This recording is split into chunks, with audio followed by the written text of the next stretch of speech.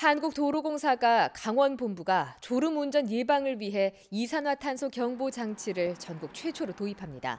버스, 화물차 운수업체와 업무 협약을 맺고 이달부터 이산화탄소 농도에 따라 경보음이 울려 차량 환기를 유도하는 경보장치 178대를 무상으로 대여합니다.